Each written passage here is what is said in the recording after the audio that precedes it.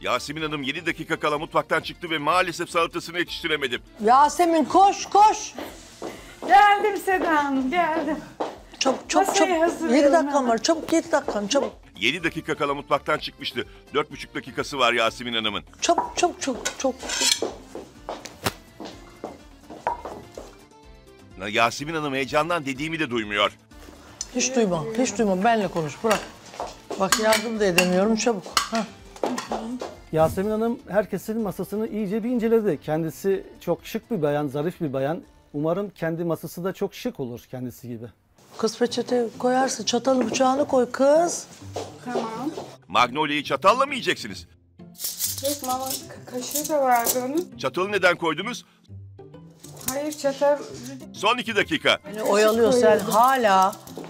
Sen inanamıyorum yani. Hayır ben anlamadım. Bak kaşık, bıçak. Çatal. Ama benim bu kaşıklarımı getirmemişler yani getirmemişiz. Niye getirmedik anlamadım. Çatal şuraya koyuluyor. Bıçak buraya koyuluyor. Yanlış koydum. Tamam böyle doğru. Heyecandan. Doğru kaşık oraya. Çatal. Evet, Çatal ama şuraya. burada çatal vardı. Tamam. Bir kaşığım, e, mama Bıçak, kaşığım bıçak, vardı. bıçak. Yasemin Hanım'ın sofra düzeninden beklentim şıkır şıkır, rengarenk, mumlar ve çiçeklerle donatılmış bir sofra bekliyorum. Kız bunu bırak bardak koy bardak. Ha bir leğen bezimiz eksik. Taş koyuyor gelmiş bana. Bardak çabuk çabuk. Sen koy bebeğim. Sofra düzeni çok önemli. Yasemin Hanım zaten e, çok bakımlı bir bayan ve e, görselliğe de çok önem veriyor. Ondan güzel bir sofra bekliyorum. E, iyi bir misafirperver olacağını düşünüyorum. İnşallah da öyle olur. Yasemin Hanım'ı çünkü güler yüzlü görmeye alıştık. Onu sert görmek beni üzer. O şunları oraya yaklaştır tamam. Gel. Kaşıkların eksik. Bir kaşık buraya koy. Bizim olmayı versin. Bir kaşık da or- orada. Ha, kaşık oraya koy. Tamam. Bana sonra getirsin. Git kapı çalıyor. Kapını aç. Merhaba, hoş geldiniz. Merhaba, hoş geldiniz. Hoş geldiniz. Merhaba, hoş geldiniz. Merhaba, hoş bulduk. Merhabalar Seda Hanım. Hoş geldin Hatice. Ali Rıza hoş geldin. Zuhal'cığım hoş geldin. Betül hoş geldin. Gel tatlım. Otur. Arkadaşlarına günün mana ve önemini belirten konuşmanı yapabilirsin Yasemin'cim. Hoş geldiniz hepiniz. Hoş bulduk. Hoş bulduk. Nasılsınız, iyisiniz? Bugün benim günüm bakalım nasıl geçecek. İnşallah yemeklerini beğeneceksiniz. İnşallah yemeklerimi Mutlu bir gün beğeneceksiniz. geçireceğiz. Mutlu bir gün geçireceğiz hep beraber. Zaten siz mutlu bir masasınız. Evet. İnşallah iyi olacak. Betül'cüm nasıl buldun sofrayı? Ben çok beğendim. Zaten e, Yasemin Hanım'dan böyle bir masa bekliyordum. Çok şık. Teşekkür Zuhal'cığım? ediyorum, çok teşekkür ediyorum. Normal buldum Seda Hanım.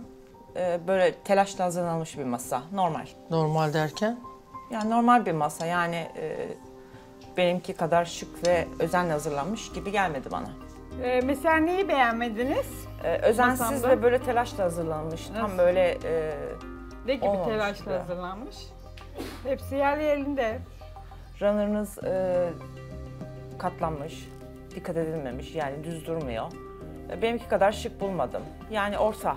Normal bir masa. Zuhal Hanım röportajında kendi masasını kıskanıldığını o yüzden çok eleştirildiğini söyledi. Şimdi de bu masayı kendi masasıyla kıyaslıyor. Evet, kendisinin sadece masasının güzel olduğunu söylemek istiyor. Yani öyle Zuhal istiyor. neden kıskanıldığını düşündün tatlım? Şimdiye kadar en özenle hazırlanmış masa benim masamdı Seda Hanım. Ben o kadar böyle özenilmiş bir masada oturmadım şu ana kadar.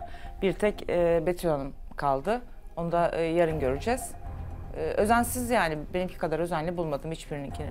Ben Zuhal Hanım'a katılmıyorum. Masa çok şık ve Yasemin Hanım gibi süslü olmuş. Çok beğendim.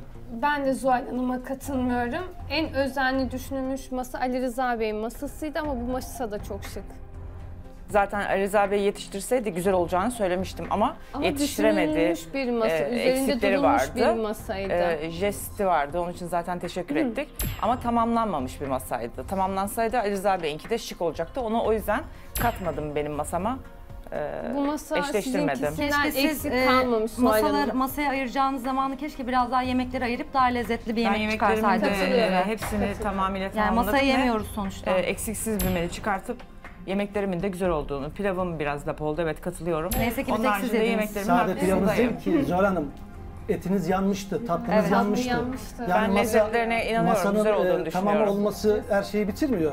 Siz o zaman hiçbir bu masada kimseye katılmıyorsunuz. Bir Siz tek şu siz an yediniz yemeklerinize onları. güvenmediğiniz için masadan yürümeye çalışıyorsunuz Aynen, Yasemin Hanım ama katılıyorum. bu masa gayet şık bir masa. Kesinlikle. O sizin düşünceniz. Peki Zuhal hariç anladığım kadarıyla masayı herkes beğendi. Kesinlikle. Ben daha böyle rengarenk bir masa bekledim Yasemin abla ama bu çok da yani bu da çok güzel bir masa. Ama Sadece daha- hayalimde öyle bir canlandı Daha nasıl nedense. renkli olsun kırmızılar. Yo çok Evet, güzel. Asla kötü demiyorum ama hani senin enerjinden bana öyle geldi sanki Evet. üç gündür. Çok zarif. Evet. Zarif bir masa. Evet. Değil mi? Zarif ve süslü. Evet. Yasemin Hanım Kendim gibi. de süsleyeyim. Evet. Teşekkür ederim sağ olun. Çok ince Teşekkürler. düşünülmüş ya. Şunlar bile çok güzel duruyor bence. Evet. Evet. O zaman düğün çorbasıyla başlayalım. Hadi bakalım. Zuhal Hanım röportajında beni en çok eleştiren Betül Hanım ve Hatice Hanım oldu. Betül Hanım yerli yersiz eleştiriyor. Bu kadar iddialı olmanın karşılığını nasıl verecek? Yemekleri detaylı eleştirmiyor. Sadece beğendim diyor yorumunu yaptı. Ee, Ben sadece bildiğim yemekler hakkında yorum yapıyorum. Bilmediğimi zaten bilmediğimi söylüyorum. Dün masasında hiç yemediğim bir börek vardı. Tadı hoşuma gitti ve ona göre puan verdim. Diğer bildiğim şeyleri beğenmediğim zaman neden bunu söyleyemeyeceğim ki? Neden yersiz buluyor benim düşüncelerimi? Keşke herkesin beğenebileceği bir yemek çıkarsaydı da hepimiz beğenseydik. Benim yorumlarım yersiz kalsaydı. Ee, Bir tek kendisi yedi hanımefendinin yemekleri. Kim yedi? Bence komşulara dağıtsaydı onları. Ziyan olmuştur. Sofranızı beğendiler mi? Soframı beğendiler. Şimdi çorbalarımı koyacağım. Çorba istediğiniz gibi oldu mu? Bana oldu. Bana göre oldu ama. Yalnız unutmuşum altını. Biraz koyulaşmış. İnşallah çok katı bulmazlar. Hani beğendim beğenmedim şeklinde kısa ve öz eleştiriler yaptınız. Evet. Onu belirttim sadece. Ve yerine göre eleştiriler yaptım. Hepsi de doğruydu zaten. Yerine göre olabilir. Detaylı içinde Yani ne boş var, konuşmadım. ne Onlar- yok. Hanımefendi boş Onunla konuşmadım alakalı kısaca. dedim. Sadece beğendim beğenmedin dediniz o kadar. Beğen, beğenmediğimi de beğendim diyemezdim herhalde. Hayır, o, hala Niye beni detay, anlamıyorsunuz detay ki. neden vereyim ki? Ne gerek var? Niye boş konuşayım O yüzden ki? çok fazla yemek Yani- tecrübeniz olduğunu düşünmediğim için içinde Şimdi ben detaylı kendi bilgi e, vermiyorsunuz. ben Kısa. kendi yemeklerime zaten çok güveniyorum. Güveneceğim bir so- menü hazırladım. E, keşke siz de kendinize güvenebileceğiniz bir menü hazırlasaydınız.